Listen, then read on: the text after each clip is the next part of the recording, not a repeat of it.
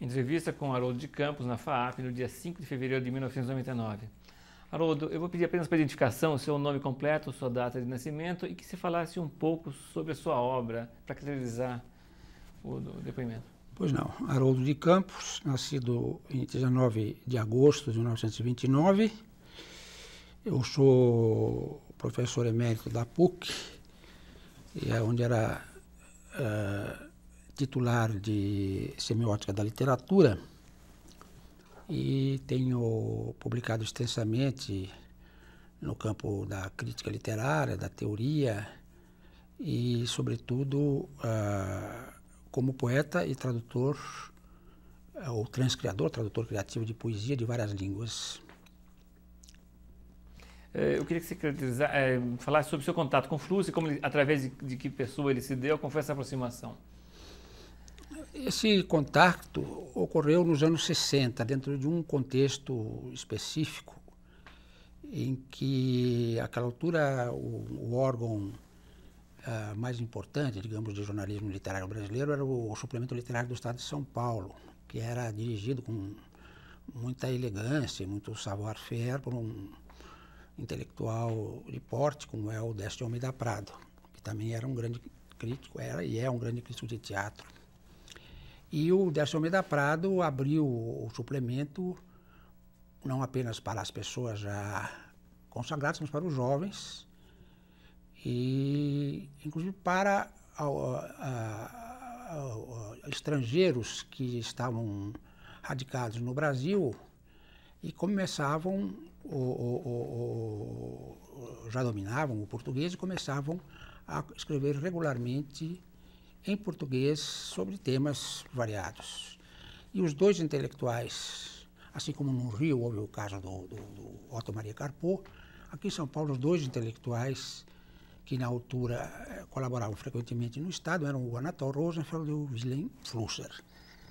E eh, eu, naquela altura, nós havíamos lançado no ano de 56 o movimento de poesia concreta, estava em plena, plena atividade o, eh, a, a, o movimento, com exposições, participações em jornais do Rio de São Paulo, e, além disso, o, o próprio Décio de Almeida Prado havia nos convidado para fazer uma página, abriu no suplemento uma página especial para apresentar as nossas ideias. E eu era, uh, me tornei um colaborador regular também do suplemento. Eu me recordo que eu conheci pessoalmente o Anatol Rosenfeld em 1962, se eu bem me recordo, 61, 62, 61, por ocasião de um congresso de literatura importante é, o Congresso Nacional de Literatura e Crítica Literária, de, não, o Congresso Nacional de Crítica Literária que teve lugar em, na Faculdade de Assis, é, secretariado pelo poeta português Jorge de Sena. E com, a, congresso para o qual nós fomos convidados, quando eu digo nós, eu, meu irmão Augusto, Décio Pinhatari, o Joselino Grunewald, que, era, que é um membro do, da, do grupo de poesia concreta residente no Rio, poeta também, tradutor, e foi cometida ao Décio a tarefa de fazer, de escrever sobre a situação da poesia, que foi um gesto assim bastante ousado de Jorge de Sena, quer dizer, pôr a poesia em pânico, depois o Décio, o relatório do Décio foi um relatório muito importante, era um relatório que ficou conhecido como a definição do salto por participante da poesia concreta, ou seja, no momento que a poesia concreta assumia os problemas do engajamento sem abdicar da sua uh, as suas preocupações de ordem formal. É, nesse congresso, tivemos um contato muito interessante com o Anatol, muito fecundo. Ele era muito voltado para as artes, muito.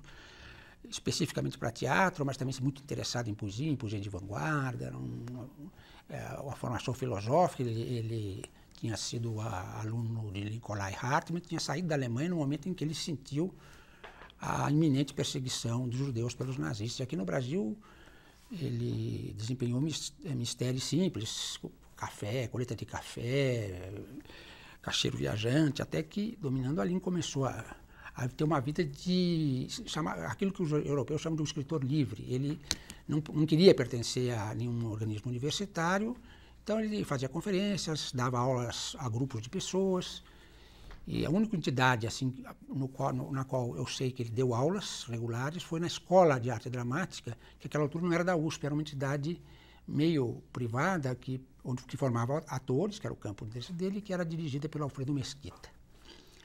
O Flusser, não me recordo quem me apresentou ao Flusser, recordo, não sei, não, não sei dizer, mas foi mais ou menos na mesma época, eu acompanhava os trabalhos dele, havia um grande interesse da parte dele pelos problemas da linguagem, e eu apreciava em especial algumas abordagens que ele uh, fazia uh, de quando em quando sobre a obra do Guimarães Rosa, que eu acho que é o campo onde ele, assim, de crítica literária, ensaísmo literário, ele deu talvez as melhores contribuições dele. Ele tinha muita afinidade com o mundo rosiano e captou muito bem esses, aspectos. Mas o Flusser se interessou muito pela poesia concreta e pela radicalidade com que a poesia concreta assumia o problema da linguagem. E é, ele reunia na casa dele um círculo, quer dizer, era diferente do Rosenfeld. Né? O Rosenfeld era uma pessoa que vivia muito modestamente, quer dizer, dava aulas na casa de algumas pessoas que amigos que, que o contratavam para dar curso, eu lembro de famosos cursos que ele deu sobre estética, sobre Hegel, etc. Agora, o, o, o Flusser, eu não recordo bem, ele uma vez me contou, uma passagem qualquer, se ele teria tido uma indústria, alguma coisa assim. Ele estava retirado na ocasião em que eu conheci e morava numa boa casa, e nessa casa ele reunia um círculo de intelectuais que, com os quais eu tive pouco contato com os intelectuais. Mas eu fui à casa dele, às vezes ele também convidava alguma pessoa de passagem aqui, que fazer alguma conferência. Tal. E eu devo ter ido à casa dele umas três ou quatro vezes no total. por aí, um pouco mais, um pouco. É por aí. E participando dessas reuniões, não me recordo em que dia, das, eram à tarde as reuniões, era pela tarde que elas ocorriam, mas não me recordo que dias eram especificamente, havia um dia determinado. E eu assistia às reuniões, e, uh, conversava com ele, uh, e uh, sentia o grande interesse que ele tinha nesse problema da linguagem. só que a abordagem que ele fazia desses problemas encontrava certas resistências da minha parte. Como da parte dele havia resistências em relação à maneira como eu e os companheiros da poesia concreta encarávamos o problema da poesia e da linguagem. Eu, nesse particular, eu tinha, nós tínhamos muito mais afinidade com Anatol Rosenfeld, é, que inclusive era uma pessoa muito uh, a par do que se fazia de mais novo na, na, na poesia na poesia alemã. Uh, e eu, tava, eu tinha muitos interesses pela poesia alemã. Tinha, tinha, já naquela altura, em 56, eu escrevi um trabalho longo, foi um dos primeiros trabalhos escritos. Mesmo na Alemanha se escreveu mais tarde, foram escritos trabalhos mais tarde. Foi um dos primeiros trabalhos que se escreveu no pós-guerra, no segundo pós-guerra, sobre o Kurt Schwitters, um trabalho publicado em 56 que está no meu livro Arte no Horizonte Provável. Eu uh, recebi em minha casa, muito jovem, o Anatol, o Hans Magnus Enzensberger, quando ele visitou o Brasil. Antes de ter ido a Cuba, ele passou pelo Brasil e, através de amigos comuns, ele me visitou em minha casa. Ele tinha sido aluno do Benzi, na, na Hochschule für Gestaltung. Então, me visitou aqui, eu apresentei o Anatol na ocasião, me recordo. Ele foi até ver, eu acho que foi ver o uma arena canta zumbi, uma coisa assim. Uma, ficou uns dois, três dias aqui em São Paulo. É, e o Anatol escrevia sobre ele também e, registrava certas afinidades.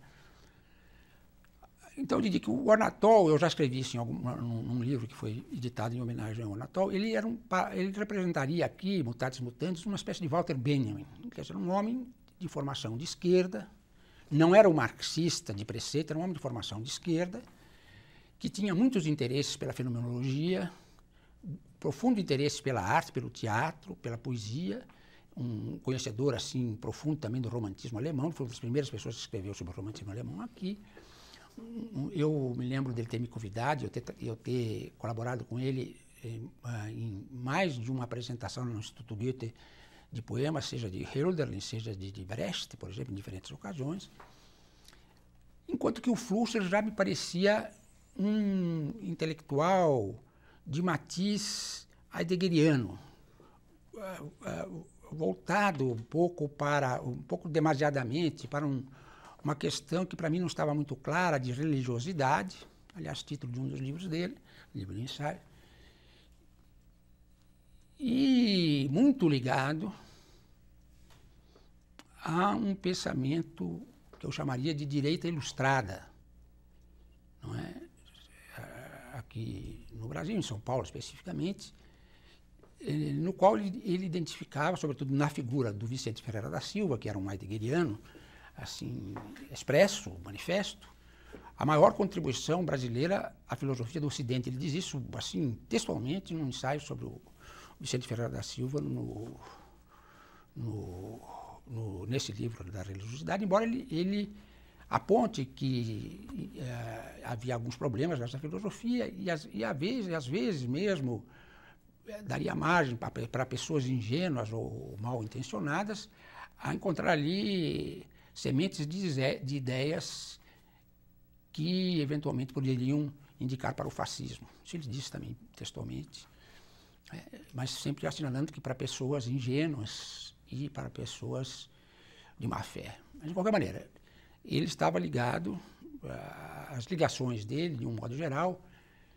eram com esta área cultural de timbre uh, heideggeriano, representando não a, a, a, a, direita truculenta, mas uma direita ilustrada, uma direita capaz de dialogar, enfim, cultivada, enquanto que já o Anatol era inclinado à maneira benjaminiana, sem ter um, matiz definidamente marxista, mas para uma posição uh, de quem uh, incluía no seu pensamento Marx como um autor importante, né, ao lado de outros tantos. Né. Agora, aquele ambiente em que se passavam as reuniões com Flusser era um ambiente muito engraçado que poderia ser descrito pelo Thomas Mann. Entende? Mesmo o, a, a, relação entre o Flusser e o Anatol uh, lembra, mas aí seria uh, preciso traçar com outros componentes esses, esses retratos, aquelas, aqueles personagens entre a, o, o, o, Nafta e o Setembrini, o Anatol humanista e o Flusser assim um pouco um, um personagem assim um pouco esotérica. E, e, o ambiente tinha é, uma característica curiosa, quer dizer, você estava naquele círculo em que havia os discípulos, havia o, o que era o Flusser, que enfim, era bastante informal nas suas relações, mas tinha uma posição heliocêntrica naquele círculo, evidentemente. E a coisa, às vezes, tomava um, um, um, um matiz, uma espécie de mistura de Heidegger e Madame Blavatsky, entende? Uma coisa assim, meio... Talvez um círculo mais do que o próprio Flusser, mas, enfim, era uma atmosfera que para uma pessoa como eu, por exemplo, que tinha outra, outra tendência e outra formação, me criava, assim, muita resistência. Embora eu reconhecesse a, a, o interesse de, de, várias formulações do Fluxo, tivesse lido vários livros dele. Né? E, e, a, e, e, em razão disso, praticamente é que se deu, de fato, um, nunca houve ruptura, nada disso, nunca polemizamos, mas houve um afastamento natural. Eu procurei, aproximei-me, nunca fui amigo íntimo do Anatol também, mas a, a, que era uma pessoa bastante reservada, mas aproximei-me das pessoas com as quais eu tinha mais afinidade. Uma delas foi o Anatol, que sempre acompanhou com maior interesse o nosso trabalho, escreveu sobre ele também com muito interesse. Agora, houve um fato notável nessa, nessa peripécia que houve naquela altura, mais ou menos, foi, foi foi no ano 66, eu acho, o filósofo Max Benzi, ele mantinha uma coleção chamada Roth, uma série de cadernos que ele editava em Stuttgart, junto com a assistente dele, a Frau Dr. Elisabeth Walter, e ele uh, me convidou a publicar alguns textos meus num desses cadernos, número até tenho ele aqui.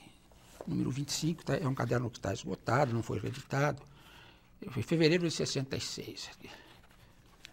Saiu com. Era, era um fragmento das minhas galáxias e saiu com esse título Versuchsbuch Galaxy. E o que é interessante é que eu, a, o problema era, era como verter um texto complexo como esse para o alemão.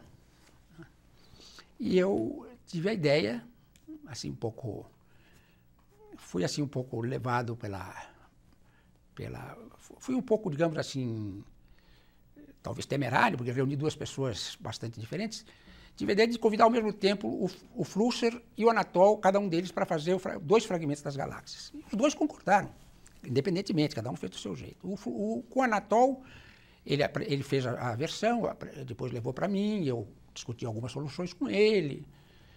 O Flusser já fez uh, por conta própria, do jeito dele. As duas versões uh, são quatro fragmentos. Eu gosto de, de, ambas as, as, as, traduções, seja daquelas feitas pelo Flusser, seja aquelas feitas pelo Anatol. Mas já existe aí, você pode, algumas marcas estilísticas que fazem, ajudam a fazer a distinção entre os personagens. O Anatol é mais rigoroso, mais preocupado assim com uma certa fidelidade, embora também preocupado em, em, em recriar as palavras, em, em manter certos jogos sonoros. Agora, já o, o Flusser se ele se entrega um pouco assim, uma espécie de volúpia das palavras. O resultado, muitas vezes, é realmente fascinante, mas ele já não, não, não, não, é, não se preocupa tanto com essa, com essa, com, assim, o texto de partida. Na verdade, ele, ele ambiciona, a, a, a, ele mira no texto de chegada, é curioso. É. E com uma certa liberdade, uma certa soltura, assim, de, é, é, que não tem como parâmetro necessário o rigor. Tem outros parâmetros, tem uma, uma sensibilidade para, para a palavra. Ele, ele, dominava bastante bem o português, como o Anatol também. Mas, é, então eu acho que foi o único caso, nesse caso aconteceu o caso, de duas pessoas, que não é que ficaram que tiveram polêmica, também não, não me consta que entre eles houve polêmica. Houve afastamento, não sei se precedido de alguma. O Anatol e o Fusso eram homens polidos, jamais haveria uma polêmica Uh, também não, não, eram, de, de, de não eram de, de, polêmica por escrito, necessariamente. E que eu saiba, nunca houve uma polêmica assim, em termos pessoais, mais veemente. Houve, um, um, uma, vamos dizer assim, um, um, desencontro de caminhos que ficou, que marcou uma separação. A um certo momento, o Anatol achou que estava encerrado o convívio, porque não era produtivo, afastou-se. Né? E o Flusser, que, que uh, não era, como a, chegamos a, a, abordar esse, esse, problema um pouquinho antes da entrevista, que, que não era provavelmente uma, um personagem dialógico, porque havia sempre esse problema, pelo menos no ciclo dele, havia sempre esse problema heliocêntrico do, do, do, do, do do, do, do Meister Lud, que estava ali. Né? Mas ele era um sedutor, ele, ele queria ele desejava isso, havia, havia um elan nele para cativar as pessoas que ele admirava. E ele realmente é, sentiu essa, a, a, a, vamos dizer, essa incapacidade que ele teve de, de, de cativar a mente do Anatol, chegou até a registrar em termos lastimando o fato no prefácio de um livro dele. Um gesto curioso, até inusitado, mas que mostrava o quanto, o quanto, o quanto de empenho ele punha nessa sedução, nesse processo de sedução. Agora, quanto à poesia concreta, o que aconteceu é o seguinte: o Fluxo se interessou realmente muito pelo problema, ele se interessava muito pela ideia da radicalidade da linguagem, mas ele é, tinha em relação à poesia uma uma visão que uh, eu, eu chamaria de uma visão que idealizava a prática poética. Ele imaginava que a poesia concreta, tal como nós a praticávamos, embora muito ambiciosa no seu projeto, era tímida nas suas realizações porque ela não cortava as amarras com a, a, o significado exterior. Vale dizer, ele gostaria de que a poesia mergulhasse no nada, heideggerianamente falando. Vale dizer, dando uma, uma segunda explicação, ele gostaria que os poemas fossem puros significantes, destituídos de qualquer significado, né? como uma glossolalia, como um canto xamânico, é? Sem qualquer referência, quer dizer, a, que a, a semântica fosse, por, por, assim dizer, amputada do poema. O poema fosse despojado da sua semântica e valesse como uma espécie de canto do nada. Filosoficamente, até pode ser um, apresentado assim, pode ser até um problema é, fascinante. Mas acontece que isso, isso a, mostra um, um, revela um desconhecimento da, da história da, das práticas poéticas, poéticas de vanguarda.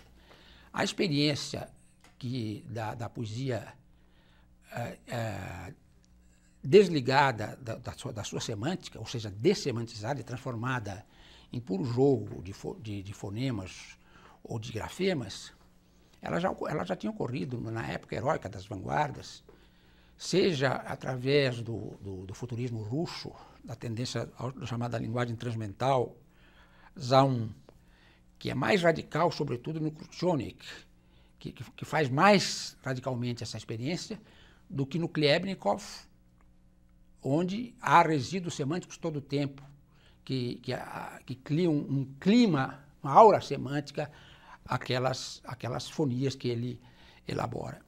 E tinha também sido é, feito na, na, vanguarda alemã, através de Raoul Hausmann, através de Kurt Schwitters.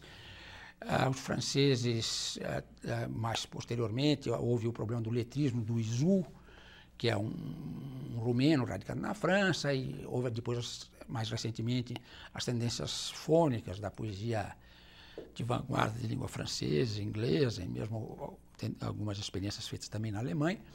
Ora, a, à exceção de, certos, de certas realizações extremamente especiais, irrepetíveis e limite, belas em si mesmas, como a O Orzonate do, do Kurt Schwitters, que é uma obra, uma partitura de, de, de, de, sons é, que não tem nenhuma ligação com o significado e, e que é executada pelos Schwitters através de uma gama de articulações, etc, etc. O que acontece é que a poesia, exatamente, ela se distingue da música. A poesia não é música, ela pode aspirar à condição da música, como, como pensavam os simbolistas, mas ela não é música porque ela tem a dimensão semântica. E a dimensão semântica é fundamental na poesia. De Homero a Dante, a Goethe, a poesia moderna, mesmo um poeta fragmentário como Tselan, a semântica está sempre presente. Se você elimina a semântica, você não ouvirá mais o canto do Tselan falando de Auschwitz. Ou falando da impossibilidade de fazer poesia em Auschwitz, como formulou Adorno, a partir desse canto fragmentário. Ora, o Flusser insistia nessa visão, que poderia, como eu digo, que é a visão de um filósofo erradicado da prática do poema, quer dizer, que não está uh, vivenciando o problema prático do poema, e que, por outro lado, está uh, praticando uma espécie de absenteísmo que eu chamaria de talmúdico, isto é, um poema que uh, teria uma, uma função mágica, na é verdade, quase de uma, de uma glossolalia xamânica, religiosa, não é? e que partiria todos os seus elos com o real. Ora, a poesia concreta, e nós éramos violentamente, até hoje somos, atacados de formalistas, isso o Fluxa jamais mencionou, esse combate nós vivemos. Era os anos 60, eram os anos da ditadura. Nós fomos atacados pelo CPC, nós fomos atacados, ah, sempre fomos atacados como as defensores de uma poesia formalista. Mas ah, o que nós defendíamos, tendo como tínhamos posições socialistas, era uma poesia que fosse uma poesia de vanguarda e, ao mesmo tempo, participante em casos determinados. Se eu vou fazer um poema lírico, como, por exemplo, os poemas do Augusto, meu irmão, da série Ligia Fingers, são poemas de amor, são poemas... É, o meu poema Silêncio é um poema erótico, é, heróico, erótico, uh, metafísico um pouco, tem um pouco da meditação assim, sobre o zero ao gênero. Esse poema tem, tem a ver com uma espécie de, de, de, de ponto zero né, da, da, da, palavra. Mas são determinados poemas. Agora, em outras circunstâncias, premido por outras injunções, o poeta tem que responder a elas.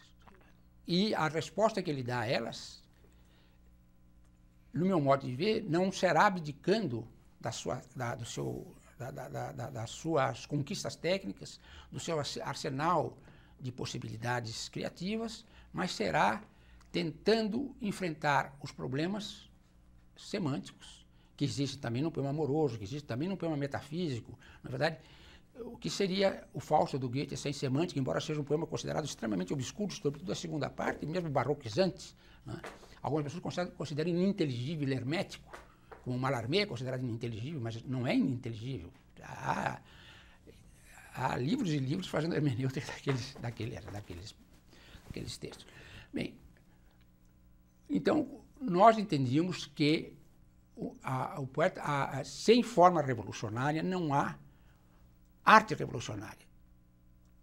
E invocávamos, nesse sentido, posições do Mayakovsky e do Brecht, que fizeram poesia revolucionária com forma revolucionária. Agora, isso não significa que toda a, a nossa poesia passava a ser uma poesia engaja, a, a, engajada. Primeiro, a nossa posição era violentamente anti-stalinista, anti-danovista, anti-realismo socialista. Nós, quando fazíamos um, um poema, nós o fazíamos convocando todas as técnicas formais que este, uh, que este poema suscitava, que, que, o problema que esse poema punha suscitava em nós para resolvê-lo enquanto poema, estruturalmente. E uh, qualquer banalização era posta fora do nosso horizonte de interesse.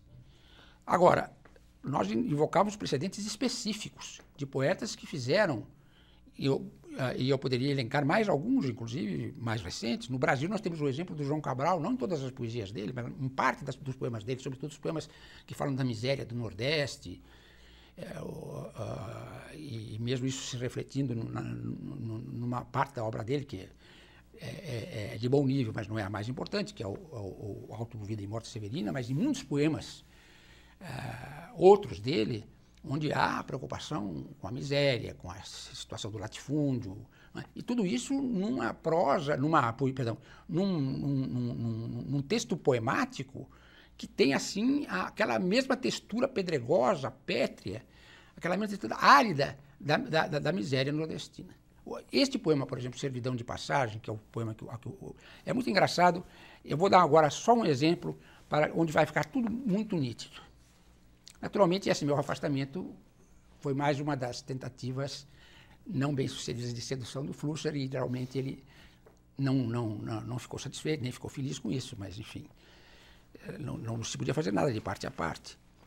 Agora, é, é, é, é muito interessante, eu vou dar um exemplo bem prático para vocês verem. Ele, nesse trabalho que está aqui, concreto e abstrato, ele, que é onde ele fala fala desse contato, ele diz, ele, ele, ele uh, fala dessa, dessa problemática exatamente. Ele, ele, a uma certa altura, ele pega uma linha de um poema meu, na qual ele vê que nesse, nessa linha aconteceria aquilo que ele deseja que aconteça em toda a poesia concreta, isto é, que a poesia vire música e, e soe assim de uma maneira xamânica. Ele dá assim. Ele diz assim, mas os poetas concretos dos quais trata este artigo são mais ambiciosos que os músicos e pintores. Pretendem captar a realidade na plenitude da língua. Pretendem reunir numa única concreticidade o aspecto musical, pictórico e conceitual da língua.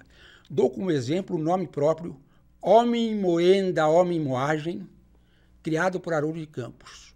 O sussurrar musical desse nome, quando lido em voz alta, a vivência angustiante dos M, dos M's, quando contemplado visualmente, e o, seu, e o significado conceitual dos nomes homem, moendo e moagem, criam uma unicidade concreta que é um elemento da nossa realidade. Quer dizer, ele sente uma um sussurrar musical. Né? Só que exatamente essa linha é extraída de um, do poema Servidão de Passagem, que é um, é, é um exemplo, na, naquela altura, do salto participante da poesia concreta. Não foi o único tipo de poema que eu fiz, mas entre outros tantos, né, este poema era especificamente um, um, um, tipo de poema que era programaticamente apresentado como um, a, a, um poema que enfrentava o problema do engagement. Ele tinha epígrafes. Uma delas era a famosa epígrafe do Hölderlin, para que poetas uh, und wozu dichter, dichter Zeit, para que poetas num tempo de pobreza. Depois tinha uma epígrafe, se não me engano, do Feuerbach, eu não me lembro exatamente como, mas é uma coisa assim, o homem é aquilo que ele come, é? fazendo um jogo entre ist e ist. Né? E um outro do Brecht, primeiro vem o comer, fressen, e depois vem a moral. Quer dizer, eram essas coisas. E daí, inicialmente, um proêmio, e no proêmio fazia o jogo. A poesia é pura? E a resposta era, a poesia para. Veja bem como é que era feita. A, a, não se fazia discurso algum, trocava-se uma vogal. A poesia é pura, a poesia é para. De barriga vazia, assim ia. E depois fazia todo o poema, e nessa frase musical, etc., com esses efeitos, justamente era uma das frases em que se apontava, como faz João Cabral, por exemplo, na Vida e Morte Severina, o homem esmagado pelo aquela coisa que vem desde o Eclesiastes bíblico, né? que o, o velho uh, pensador melancólico do Eclesiastes, ele olha em torno dele o que ele vê? O homem oprimindo o outro homem. O homem em cima do outro, oprimindo o outro. Isso que ele vê. E, e o, o, meu poema tematizava isso na realidade rural brasileira, de uma maneira é, através da concretude da linguagem. Ora, isso de fato o Fusser não aceitava. Eu diria, primeiro por causa dessa visão filosófica que eu chamaria de idealista, erradicada de uma prática poética viva, e segundo por uma tendência absenteísta que ele teria também, né? que, que não poderia ser compartilhada por poetas brasileiros que estavam vivendo no período da Revolução, pseudo-revolução, do golpe militar, não é verdade? Daqueles anos de chumbo da opressão militar. Quer dizer, a, a, o impulso ao engajamento era fundo na nossa realidade específica. O Frusser, ele estava, embora escrevesse em português, escrevesse muitas vezes sobre assuntos brasileiros, ele não estava ancorado fundamente na nossa realidade, muito mais o estava o, o Anatol até mesmo pela vivência que ele tinha dos temas teatrais, que eram, que eram fortemente engajados à época. É?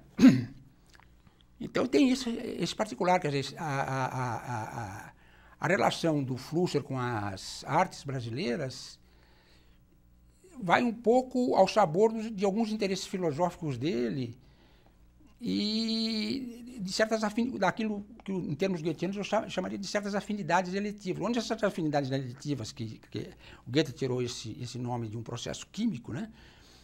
onde elas não ocorriam, como não ocorreu, ocorreram com o Anatol e não ocorreram no meu caso, né? Não passava o fluxo que ele queria transmitir. E ele, naturalmente, se criava um hiato. Onde isso, isso ocorria, ele podia se deter e passava a se entregar, como é o caso da Mira Chandler, de quem eu fui muito amigo. Diferentemente do caso do eu, a Mira foi muito minha amiga. Eu conheci a Mira na casa do Mário Schember, que é o, o, o, grande físico, o maior físico teórico que o Brasil teve, que era um crítico de arte extraordinário, assim, pelo amor, pela paixão que tinha pela arte, que foi quem me apresentou a Mira.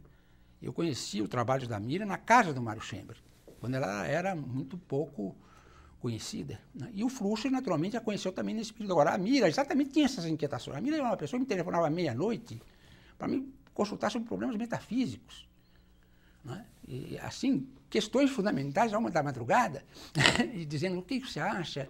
Você acha que, que eu, vou, eu, eu vou permanecer? Você acha que o meu trabalho tem algum devido? Quer dizer, ela colocava alguns. Eu estou simplificando, mas é uma coisa de angústia, é, uma, é, sofrida, não é uma, uma coisa. Eu estou colocando a coisa com uma, uma pitada, assim, aparentemente irônica, mas era uma, eu, eu, eu respeitava muito a minha. Mas ela sofria existência, ela tinha, ela tinha angústia e problemas existenciais ligados a, a, ao próprio estar no mundo e à obra dela, que ela achava que era, não tinha permanência, era uma obra impermanente. Né? Então ela estava muito ligada a, a, a, a, problemas metafísicos, mesmo a, problemas de uma certa filosofia esotérica. Né? E, isso para ela, como artista, foi muito bom, porque como artista, isso, o artista, diferentemente do filósofo, essas, esses endereços podem produzir arte de primeira qualidade. O caso do Rosa. O Rosa era uma pessoa que a mim disse uma vez que lutava com o demo que ficava no. Disse, isso a mim pessoalmente disse isso, eu era amigo dele. Me disse, em Nova York, eu, na verdade, quando eu, eu mostrei a ele a, a, a, páginas publicadas das Galáxias, Ele disse, você não sabe o que você tem nas mãos, isso é o demo. Assim. Né? E daí começou a falar do demo, de tudo demo. O nazismo é o demo. Porque ele, ele realmente tem uma, tem uma passagem muito bonita na vida dele, diplomática. Ele ajudou os judeus, a, a, quando ele era diplomata na Alemanha, ajudou muitos judeus a, a saírem, né? a, a evitarem a perseguição nazista. E daí ele me disse, pois olha, eu, entre outras, era, uma reunião no, no, em Manhattan, do Pink Club, escritores internacionais, estava assim na, na Baía de Hudson, espécie de uma. tomava-se um vinho branco tal. E eu fiquei ali com o Rosa e não tomei mais conhecimento de nada, nem o passeio tomei, a primeira vez que eu ia Nova E o Rosa falando assim, sem parar. E eu, infelizmente, não anotei aquilo. Devia ter voltado para o hotel e anotado. Mas ele começou a me falar coisas interessantes. E uma delas era essa, entre outras tantas. Pois eu, à noite, no meu escritório, eu fico nu, rolo no chão e luto com o demo. Quer dizer, é metafórico, mas quer dizer, é uma metáfora que ocorre para quem tem a, a determinadas preocupações, digamos assim, uh, demonológicas. Quer dizer, quem não tem preocupações demonológicas. Embora ele termine o livro dele de uma maneira muito irônica, o, o, o, diabo não, não, existe, o que há é homem humano. Quer dizer, o Roger era muito irônico também. Mas tinha uma zona muito permeável ao fluxo, que também tinha, em, em, coisas dele, também havia também alguma dimensão irônica, e isso às vezes reponta. Mas eu digo, nesses casos, houve condutos de afinidade eletiva e passou, o, o Flusser deixou passar o fluxo, entende? E a Mira é um outro exemplo. Agora, não me consta que ele tenha sido um, um filósofo preocupado com a pintura brasileira como foi o Anatol preocupado com o teatro. O Anatol também não, não, não se concentrou especificamente nas artes plásticas. O Anatol se preocupou muito com o teatro, ele se, se interessava pelas artes plásticas, uma vez ou outra escrevia sobre a Bienal, me lembro de um artigo dele sobre Dada, tem até um título muito curioso, Dada não está gaga, sobre Kurt Schwitters ou como o Mário Schember, que se interessou por artes plásticas. Quer dizer, o Mário Schember era uma pessoa que sabia tudo de artes plásticas. Ele se conhecia desde os dos, dos grandes pintores brasileiros como do mais bisonho primitivo, porque ele tinha uma abertura muito grande, comprava obras desse pessoal, praticamente o salário dele como professor titular, que gastava quase todo nisso. Foi um dos descobridores do Volpe e também estava interessado nas, nas tendências de vanguarda, tanto as, o grupo de São Paulo como o grupo do Rio. Agora, não me consta, eu posso não saber, mas não me consta que o Flusser tenha tido essa atenção para com os artistas uh, plásticos, pelo menos aqueles com os quais eu convivia, que eram, eram sobretudo os artistas de vanguarda aqui de São Paulo, etc. Não me consta. Também no campo da música, não sei também se ele tinha escola, e eu tenho, tinha contato naquela altura com os músicos de vanguarda que faziam, fizeram um movimento Música Nova, o, o Gilberto Mendes, o Vili, Vili Correia de Oliveira, os do Praco, etc. Não me consta também que por aí tenha entrado o Frustra. Eu acho que ele, ele tinha temas de excelência. Ele escreveu vários trabalhos sobre, sobre, sobre Guimarães Rosa. É? E, enfim, para concluir, eu diria que, me repetindo, mas eu acho que isso é importante frisar, que são nesses trabalhos sobre o Rosa que eu vejo a, a melhor contribuição da ensaística do Flusser sobre um tema de literatura brasileira. O senhor acompanhou a produção do Flusser sobre a questão da teoria da tradução, que era uma proposta que ele tinha? Olha, o problema é o seguinte, eu, em matéria de tradução, eu sou do ramo. Quer dizer, eu já traduzi, só traduzo obras difíceis, e desde o de, meu primeiro ensaio sobre tradução foi escrito em 62. De modo que eu estou interessado, a tradução para mim é um problema teórico-prático. De modo que eh, eu só uh, compreendo a, a, teoria da tradução, uma teoria da tradução ligada a uma prática criativa da tradução. Não, não me consta que o, que o, o Flusser tenha feito alguma experiência como tradutor, não sei, mas ele, ele, nunca traduziu, que eu saiba, um fragmento do Rosa para o alemão, nada disso. Mas que especular teoricamente sobre tradução em termos filosóficos, eu, li alguns trabalhos dele mas não chegaram a me impressionar, porque eu era uma pessoa que tinha sobre tradução uma teoria minha, própria, na verdade, baseada em, em, em, em uma prática larga, eu estudava determinadas línguas. Por exemplo, neste momento eu estou traduzindo a Ilíada. Estou no canto 14 da Ilíada. Estou trabalhando todo dia na Ilíada. Né? Quer dizer, já estudei o hebraico para traduzir uh, excertos da Bíblia. Estudei japonês, uh, enfim, estudei russo. Na verdade, traduzi excertos do, do, do, segundo Fausto do Goethe. Cada uma dessas coisas me propunha um problema. Traduzi seis cantos do Paraíso de Dante. Eu, em matéria de tradução, quando eu digo eu sou do ramo, eu sou uma pessoa que tem prática da tradução e tem um pensamento que é baseado nessa prática, que é a, a minha ideia da transcriação. Agora, o, a, as, os pensadores que ah, influenciaram o, a minha, a, o meu pensamento prático teórico sobre a tradução, eu posso resumi-los basicamente em três. Ezra Pound, que nunca foi propriamente um teórico, mas tem ideias muito interessantes para o tradutor, poeta, né, e é um grande tradutor. Né. é, o Steiner chega a dizer que ele está para a tradução contemporaneamente como, como Picasso para a pintura moderna. É, o Walter Benjamin, que tem aquele extraordinário ensaio sobre a, a, tarefa do tradutor, e que ele próprio era tradutor, tradutor de Proust, tradutor de Baudelaire. Aliás, aquele ensaio era um prefácio a uma tradução de Baudelaire. Na, na, Alemanha existe, como você sabe, uma tradição de poetas tradutores forte. Um, dele, um, um, um deles é o Stefan Georg. E antes do Stefan Georg, no romantismo alemão, entre outros, o, o Schlegel, o August Schlegel, né, que traduziu Shakespeare, por exemplo. Agora, uh, e no ponto de vista linguístico, Roman Jakobson, que é um caso único de um fonologista, um linguista, que era amigo pessoal de poetas, pintores, gente de cinema, foi amigo pessoal do Mayakovsky, do Klebnikov, e que realmente disse que aprendeu mais sobre as leis da Constituição, do feixe de traços uh, diferenciais, que permitiu a ele dar a, a, a, definição fonológica do fonema. Ele, ele, aprendeu mais com o poeta Klebnikov, com o jogo, as rimas, a declinação de, de, de rimas feita pelo poeta no, no, interior dos seus poemas, não apenas nas extremidades onde a rima é usual. Eu aprendi mais com a declinação a poética de, de, de, de, de Klebnikov para definir a estrutura do fonema e a fonologia, que é uma ciência nova em cuja raiz está ele, do que com os linguistas tradicionais. Então, o que, quando ele, o que ele fala sobre tradução diz respeito a uma prática, a um, a um, não que ele seja poeta, mas ele, ele manuseia profundamente e analisa estruturalmente a, a, microestrutura, a nível de microestrutura, as formas poéticas. Então, aquela teoria de que a, na, na poesia há, uma, uma projeção do paradigma sobre o sintagma, então você encontra uh, relações entre a sonoridade e a semântica, às vezes uma proximidade fônica é sentida como uma, uma, uma uma pseudoetimologia, é? por exemplo, isso eu encontrei, eu encontrei no, no Homero eu encontro todo dia. Todo dia eu encontro no Homero. Homero parece que ele é o Saussure. Porque todo dia tem coisas dessa no Homero que os tradutores jamais pensam em traduzir. Porque estão pensando no hexâmetro com uma determinada estrutura fechada. Chegam lá, muitas vezes, por uma questão de, de orquestração do poema, mas é, é, micrometricamente pensando, as coisas estão lá e só um tradutor atento a isso pode pensar nisso. Né?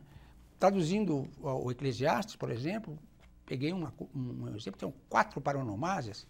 Tem um momento em que ele, ele diz que o, esse autor do, anônimo do Eclesiastes, ele diz que o homem, que, que Elohim fará com que o homem se dê conta de que ele não passa de um animal, ele não é mais do que um animal. Então ele diz em hebraico, Shehem behemah hema lahem. Veja o, o jogo sonoro, que faz com que uma coisa se embuta na outra. Quer dizer, você ouve o homem e o animal juntos. Shehem behemah hema lachem. Animal é behemah. Não são mais que animais, ademais não mais, é a minha tradução.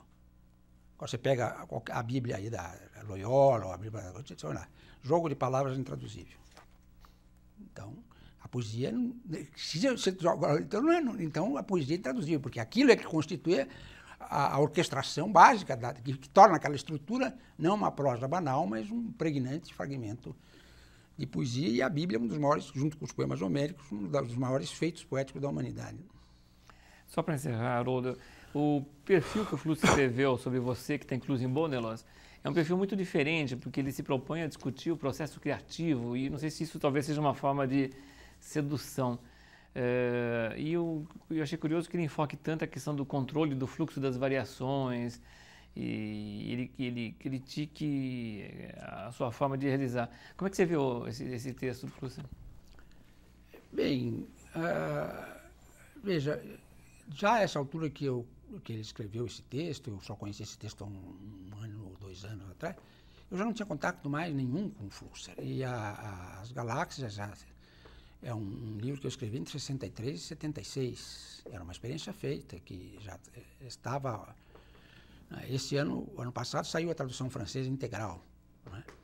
Então, o, é, é um pouco difícil uh, você discutir esses mecanismos de controle se você parte do pressuposto de que uh, eu jamais poderei chegar a uma realização verdadeiramente de vanguarda porque eu estou preso, ancorado, vamos dizer assim, uh, preso a, a, a, vamos dizer assim, ancorado a determinadas estruturas semânticas, a um problema de engagement que faz com que eu seja tímido nas minhas investidas. É isso basicamente, ele, ele repete o argumento que está aqui lá. É essa a razão básica. Não é? Agora, de fato, até as galáxias são, eu, eu, eu diria, é, é, é, a primeira vez que eu vi, achei curioso que o, o Flusser chamasse esse poema de engajado, porque toda a crítica brasileira o chamou de formalista. para ver até onde o, as reservas do Flusser, do Flusser iriam. Esse poema, se você perguntar para quem quer que seja, ah, sou formalista. Que eu, eu, eu não penso assim, de modo nenhum. E até diria, é melhor ser formalista do que formalista, como dizia o Andrei, Andrei o poeta russo. Né? Melhor ficar com a forma do que com o formal. Mas este poema é um poema em que eu... Esse é um poema, é uma, é uma espécie de louvação básica à linguagem, à capacidade tradutória da linguagem, uma defesa e ilustração da língua portuguesa e da tradição da poesia. E, constelado a isso, um poema de viagem. Né? É como o Anatole Roosevelt fez uma, deu uma definição, não por escrito, mas a mim pessoalmente muito interessante. Ele dizia esse poema, lendo, o poema não estava terminado, lendo As Galáxias, eu, eu, parece, eu parece-me que eu estou diante de uma história de detetive na qual nunca se consegue chegar ao, ao desenlace da história, porque a, as histórias são, completa, são constantemente, os enredos se começam a se esboçar quando a gente vai tentar pegar eles se transforma em outros, que há um transformismo constante. Não entendo bem, assim, a nível, digamos, naquele nível que é o que me interessa, do ponto de vista crítico, seria o nível operacional, eu não entendo bem essa reserva. Eu acho que está ligada, vinculada a, essa, a, a, esse desentendimento de base, quer dizer, tudo deriva disso. Eu, eu, acho que, eu relendo agora esse artigo, fazia tempo que eu não tinha visto, e me lembrando do outro, eu vi que tem um, uma, uma espécie de cordão umbilical, umbilical entre as duas coisas. No outro ele fez um, um retrato e tal. E veja bem os, a, as outras pessoas que ele trata no livro. E veja a, a forma mente dessas pessoas. É, no, no, você acaba sendo uma figura isolada naquele, naquele contexto. E esse texto do Concreto Abstrato é de 64, né? É, é, dois anos depois ele faria... Não, não sei se foi... Porque o Beze publicou em 66, mas é possível que essa tradução tenha sido feita um pouco antes. Não me recordo a data. Mas eu agradeço, Haroldo. Obrigado. Tá bom.